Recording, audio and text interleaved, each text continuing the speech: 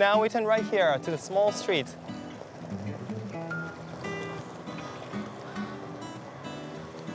Wow, this street is so narrow. But once we get into the small streets, there are so many good old style Japanese food restaurants, like a small, cute, like a stuff shops and so on, traditional handkerchiefs shop and so on. Konnichiwa. This is a restaurant of Japanese food, which we can see the Japanese, you know, the shamisen, ben ben ben ben ben. Yeah, we can listen to the music of shamisen. Yeah, and eat Japanese good, old like a course food of Japanese food. This is so famous and popular. And we can see many lanterns are making line.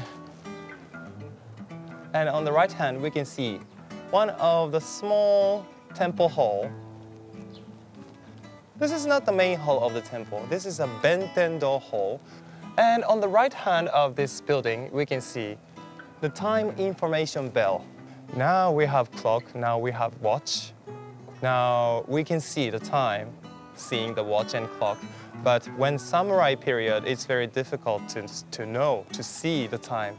Now we can hear the, the sound of this bell uh, only when the, the 6 a.m. every day and the New Year's evening. They gong the bell 108 times and get rid of the bad desires of the year to welcome New Year. Yes. Okay, now let's go next. Hop.